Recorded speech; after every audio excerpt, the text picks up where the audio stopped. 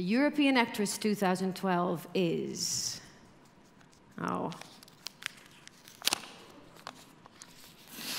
Emmanuelle Riva in Amour.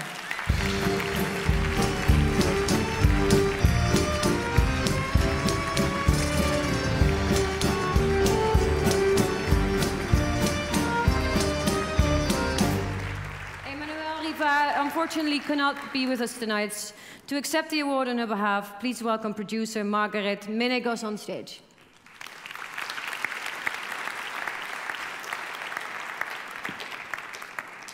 Shall I? Yeah. No?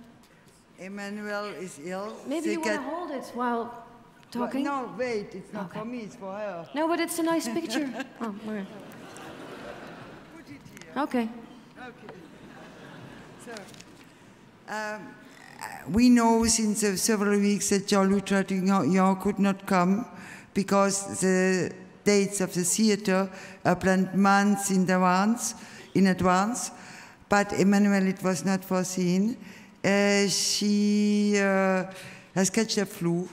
Has, she has high fever and is unable to travel. So she asked me to uh, tell you hear words.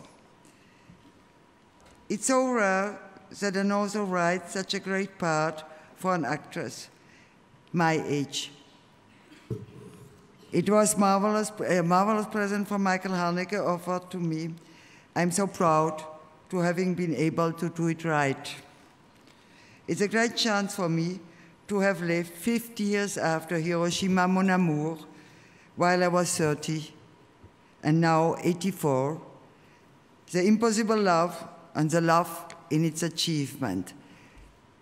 Dear members of the Academy, thank you very much.